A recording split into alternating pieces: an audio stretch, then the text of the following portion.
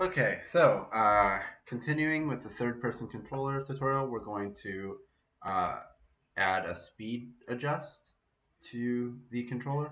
We're also going to make it so the camera moves uh, with the player. Um, so uh, first, just to talk about it, uh, if uh, let me erase all this. So right now,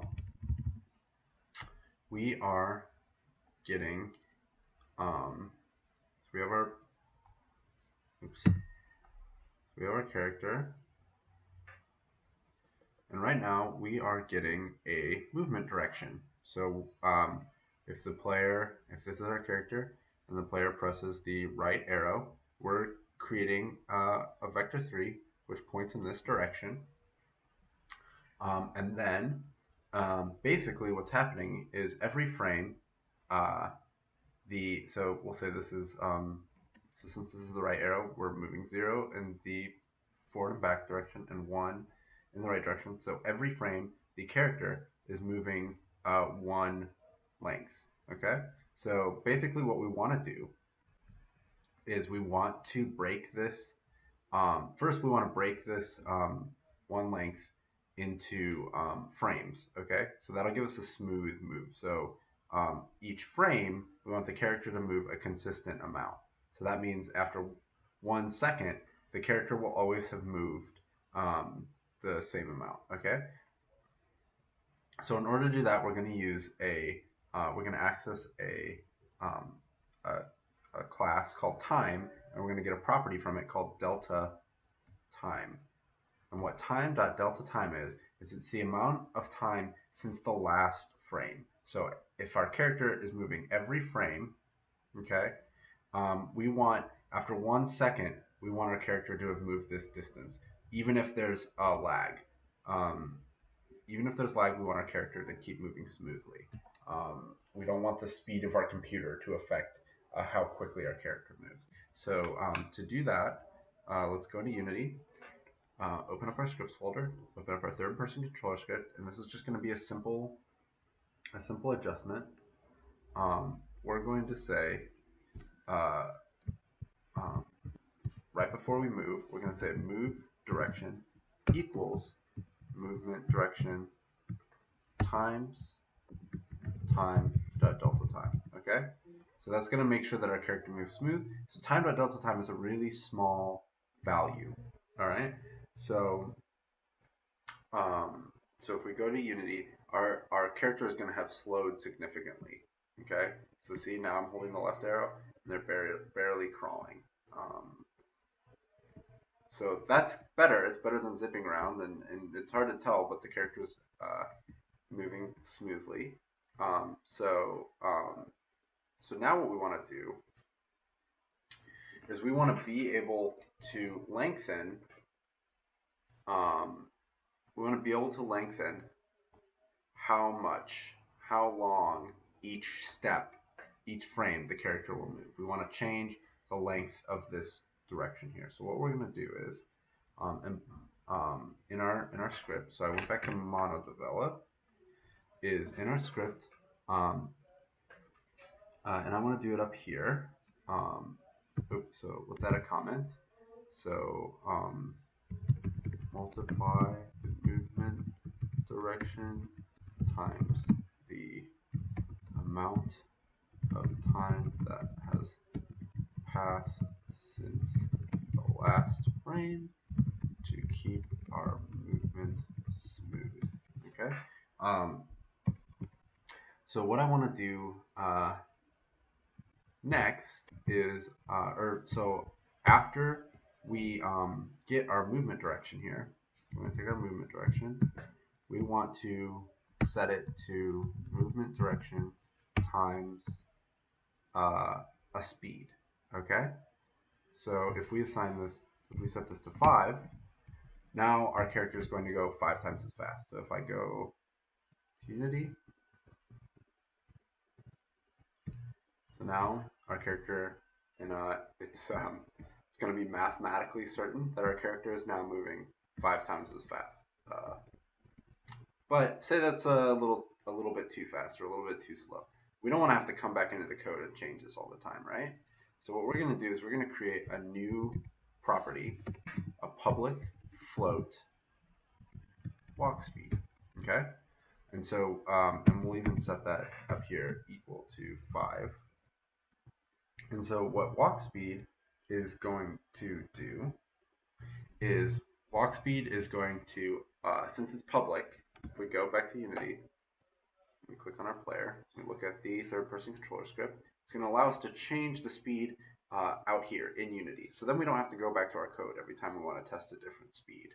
Um, so uh, the last thing we have to do is we can't use this 5. It doesn't know to multiply it by walk speed, so we have to change that 5 to walk speed. So now we are multiplying the movement direction vector by walk speed. Okay? Um, and so what that means is basically we're just getting a, uh, so if, if, if our movement is 0, 1, uh, when we multiply it by walk speed, so say uh, walk speed is 5, or we'll just say walk speed is 2, we're going to multiply 0 by 2, so we're going to get 0, and 1 by 2, so we're going to get 2. So it's going to it's going to go uh, twice as far um, per second. Okay? Um, so that's what we're doing there. We're getting this twice as long direction, and so that this character in one second is going to move this far instead of just moving this far. Okay? So that's um, what walk speed is done. Now, um, so we're done with our script for now. So I'm going to close mono, mono develop, and um, I'm going to go back to Unity. So now we want our camera to um, follow our character around. And we're going to do that using um, uh, this concept called parenting. Okay? And so parenting is means that we take one object and we um, assign it as the child of another object. So we take um, so say we take our we take our character and then we take the camera and we um, set it as a child to this character. And so what that means is now uh, if we move the character, so say we move the character, you know, two to the right, the camera is also going to move two to the right. Okay. What it also what it means is the camera's um, zero axes. So um, say in the world, this is um, zero, zero, zero, and the player is at uh, negative five, uh, zero, zero, and the camera is at negative 7, 3, 0. It's 3 up. Um, uh, now the camera is actually going to be at negative 2, 3, 0. And that's because um, this is now at 0. So it's, it's actually um, negative 5 plus negative 2 back. Um, anyway, um, that'll become more clear. But so let's go into Unity. And what we're going to do is we're going to take the main camera, and the way that we child the main camera to the player is we just drag it onto the player. And so now you'll notice, um, so you'll notice, uh, well, so the player is at 0, 1.10. So, and the camera is at 0, 1, negative 10. So if we move the camera to the player, oops, onto the player, so we drag it onto the player, and now we get this little um, triangle, which means the player is a parent, and here are its children. Uh, so now um, the camera is at negative 0.1. And if we add that to player 1.1, that means that the camera is at 1. So um, um, so now, now that it's a child, what we can do is we can move the camera. You can see a little preview here to set up what we want our shot to look like. So I'm going to move it up a little, move it closer, and I'm going to click rotate and grab this red um, this red angle and point it down a little bit. So now when we hit play, we move our character.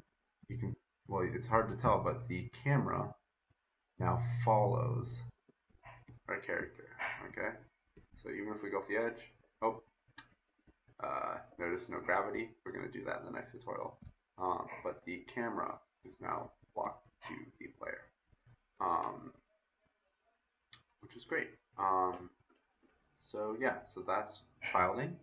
Um, just as another example, um, or uh, another example, if we create a cube and we move it over here, we make it kind of big, and then we create a 3D object, sphere, and we let's make it kind of big, move it over here and above the cube, and if I child the sphere to the cube, click on the cube, I move the cube, you can see the sphere moves where it goes. Now the sphere can still move independently, um, and we can assign where it goes, but then when we go back to the cube, it moves all its children with it, okay? Another really helpful thing is, say you want this sphere to be exactly where this cube is, you can, um, so you want this sphere to be exactly where the cube is. So if I set it to zero, it's positioned to zero, zero, and zero, it moves it to the center of the world.